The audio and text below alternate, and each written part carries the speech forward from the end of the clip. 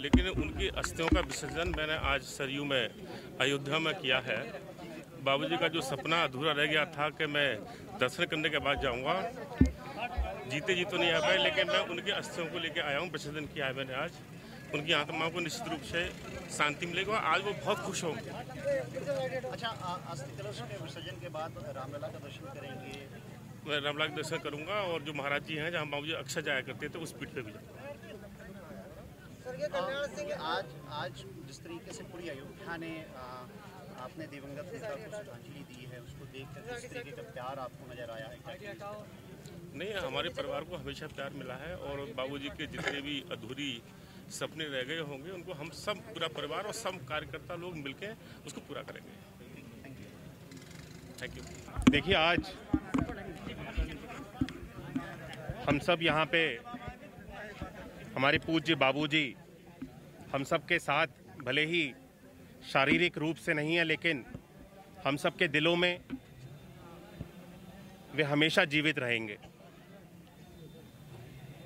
बाबूजी ने अपना पूरा जीवन, अगर मैं कहूँ कि रामलला के लिए समर्पित किया तो गलत नहीं होगा। आज सरयू माँ में बाबूजी की जो अस्थियाँ हैं उनको विसर्जित किया गया।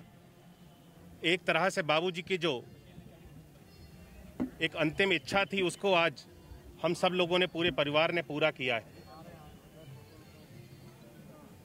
उनकी इच्छा थी कि रामलला का एक भव्य मंदिर बने, जो कि उनके जीते जी रामलला ने उनकी इस प्रार्थना को स्वीकार किया और रामलला जी ने अपने भक्त का जो उनका सपना था, एक भव्य मंदिर के रूप में, जिसका निर्माण कार्य अब प्रारंभ हो चुका है और बहुत जल्द एक भव्य मंदिर बन के तैयार होगा। बाबूजी आना चाहते थे दर्शन करने के लिए, लेकिन आज अयोध्या में सरयू माँ में बाबूजी की अस्थियाँ यहाँ हमने विसर्जित की हैं। बाबूजी हमेशा के लिए अमर हैं और हम सब के साथ हमेशा रहेंगे और प्रभु श्री राम के साथ ईश्वर उनको अपने श्री चरणों में जगह दे और हम सब के ऊपर अपना जिस तरह से उन्होंने आशीर्वाद बना के रखा, आशीर्वाद बना के रखें। हमारा पूरा परिवार, बाबूजी ने जिस तरह से पूरे जीवन भर दबे, कुचले, पीड़ित और जितने भी शोषित समाज में अंतिम पायदान पर खड़े हुए व्यक्ति तक, उसको उनके उत्थान के लिए कार्य करने का काम किया। हमारा पूरा परिवार भी उनके उसी कदमों पर चलते हुए हर एक समाज के दबे कुचड़े पीड़ित जितने भी पिछड़े लोग हैं हर एक व्यक्ति के उत्थान के लिए कार्य करता रहेगा। उनका आशीर्वाद हम सबके ऊपर हमेशा बना रहे। बहुत बहुत धन्यवाद। वो ज़िंदगी भर राम के सेवा के लिए तत्पर रहे मुख्यमंत्री रहे राज्यपाल बने। अब उनकी विसर्जन सरयुग में अस्थि हुआ है। परमात्मा राम जी उनके चरणों में स्थान दे। नमस्कार मैं उर्स वस्त्र आप देख रहे हो न्यूज़ हिंदी। हम इस मौजूद हैं अयोध्या में। अयोध्या में स्वर्गीय श्री कल्याण सिंह जी की जो अस्थियाँ हैं वो सरयू नदी में आज विसर्जित की गई हैं।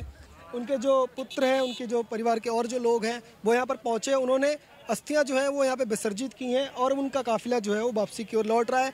उस, इस कार, जो स्वर्गीय कल्याण सिंह का जी का जो आज अस्थि विसर्जन हुआ, उस कार्यक्रम के अंदर विधायक, सांसद, इसके अलावा जिला अध्यक्ष दूर दूर से बड़े बड़े नेता और सभी लोग पहुँचे हैं और उनको श्रद्धांजलि देने के लिए अयोध्या की जो जनता है, वो भी उमड़ी उमड़ पड़ी है और पूरी तरह से आप देखेंगे, यहाँ पे जो कार्यक्रम चल रहा है उसमें जो लाखों लोग पहुँचे हुए हैं और दूर दूर तक जो लोग हैं वो श्रद्धांजलि देने जाते हैं।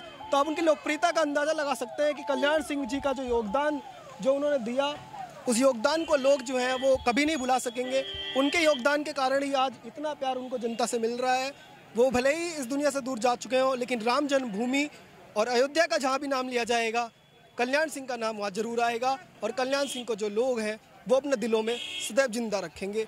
आप देखते रहिए ओ न्यूज़ हिंदी। धन्यवाद जय हिंद।